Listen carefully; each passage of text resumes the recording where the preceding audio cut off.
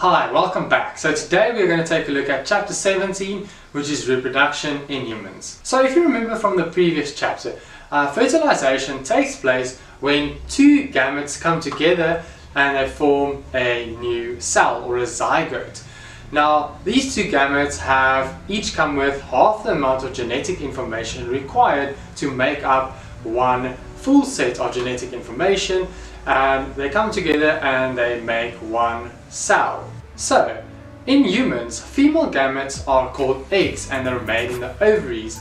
Male gametes are called sperm and they are made in the testes. Now, a female's gametes or eggs are formed inside of her ovaries before she's even born.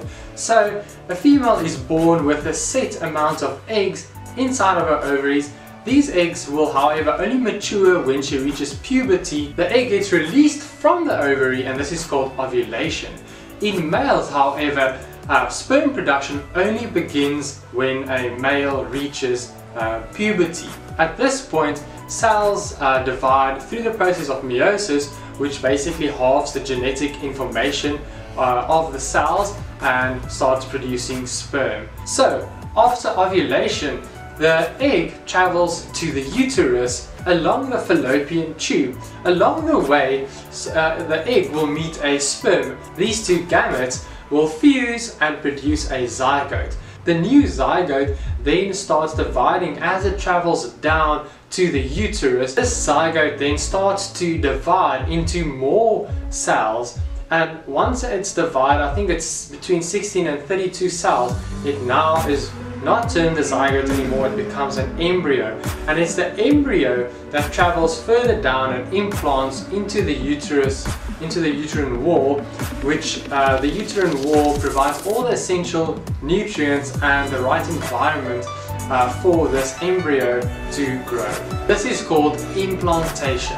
After the embryo has implanted, it continues to grow and along with it, uh, the placenta starts to develop, which is basically a structure which supplies the embryo with nutrients. The, the placenta is highly vascular and it allows the uh, mother's and the fetus blood to come very close together. So for example, if this is the mother's uh, blood supply and this is the fetus's blood supply, uh, there's a very tiny space in between the two uh, vasculature structures and this allows uh, nutrients, oxygen to diffuse from the mother's blood to the embryo's blood and it allows waste materials and carbon dioxide from the embryo to diffuse across to the mother's blood uh, to be excreted. This way the embryo receives all the food and nutrients that it requires to grow. It's also important to note that the mother's blood and the fetus's blood does not actually come into contact with each other. They do not mix. There's no uh, contact, the mother's blood doesn't go into the embryo at all. The embryo has its own blood supply and its own blood. All the nutrients in the mother's blood gets to the embryo uh, vasculature system through the process of diffusion. Now there's another structure that protects the fetus and this is called the amnion. And the amnion provides uh, amniotic fluid which surrounds the uh, growing fetus and it's sort of like a shock absorber for the fetus. This fluid supports the uh, embryo and allows it to grow further. So once the embryo has matured completely and the baby is ready, the baby is born. And after it's born, the baby has a very, the baby is still very underdeveloped, I don't want to say underdeveloped, it's not developed completely. So there are certain things that the mother needs to do to look after the baby. One example is the baby needs to keep warm. It can't generate as much heat as we do, for example, efficiently. It needs to be looked after uh, very specifically. And one of the requirements is nutrition. The baby needs very specific uh, nutrient needs and this is because the baby's um, alimentary canal, its digestive system, has not developed to a point where it can just digest anything. The most suitable thing for any baby to consume is mother's milk. And I'll explain why. Well, the mother's milk contains immunoglobulins, which are basically antibodies which protect the baby against uh, any infections or uh, things that it might get exposed to. So through um, giving the baby mother's milk, the baby gets a sort of immune uh, defense, protecting it from getting sick. A mother's milk also has the exact precise amount of each nutrient that the baby requires. It's got the right uh, percentage of fat to carbohydrate to protein. It also has the right type of protein, which is a whey protein. Cow's milk is not suitable for babies because the baby can't digest the protein in cow's milk, but it can digest the protein found in mother's milk. Okay, so let's take a look at the hormones that play a role in the menstrual cycle. So, in our brain we've got the pituitary gland and the pituitary gland secretes both luteinizing hormone as well as follicle stimulating hormone. Now follicle stimulating hormone or FSH stimulates the development of the follicles to develop. These follicles then start secreting estrogen which results in an increased estrogen concentration in the blood.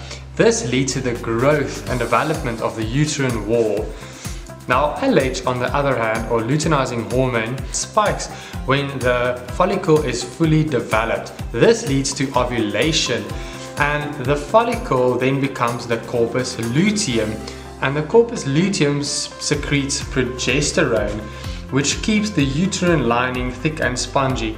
So FSH helps with the growth of the uterine wall and progesterone keeps the uterine lining thick and spongy. So if fertilization does not occur, the corpus luteum disappears and progesterone is no longer secreted. This leads to the breakdown of the uterine wall as progesterone maintains the uterine wall and menstruation. If fertilization occurs, the corpus luteum keeps on secreting progesterone and the placenta develops, which further secretes progesterone. Now it's important to note that there are some diseases which can be transmitted sexually. One of these diseases is HIV and HIV is a virus and it's passed uh, from person to person through blood or sexual contact for example. There are other ways of transfer, just go read about them in your textbook, but how HIV uh, attacks your body is it basically infects your lymphocytes and your lymphocytes are a type of white blood cell if you remember from previous work. Now your white blood cells um, are your immune defense mechanism. Your white blood cells protect you so when anything invades your body the white blood cells go and attack that pathogen or bacteria or virus whatever it is and it gets rid of it. This is what makes this virus so deadly is HIV infects these cells that are supposed to protect you and they are called your T cells. And what it does it essentially hijacks the T cells um, internal machinery so the little organelles inside the T cells and it gives these organelles instructions to make more um, HIV viruses.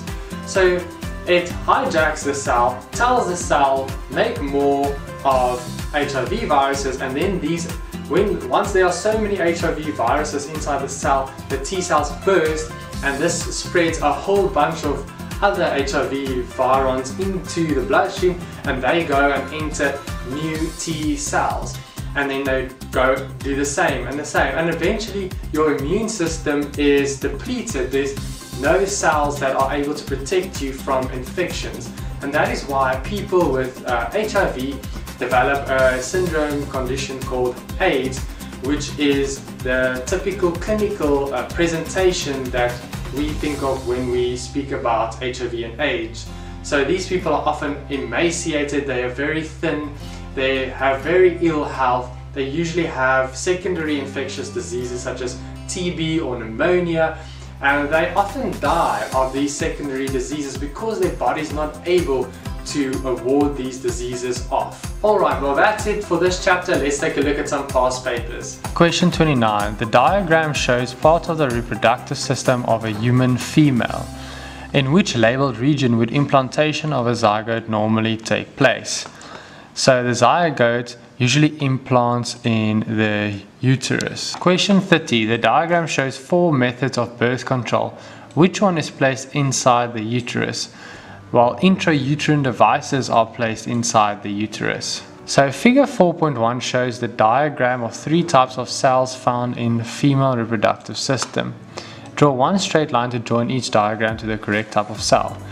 So here are our different types of cells.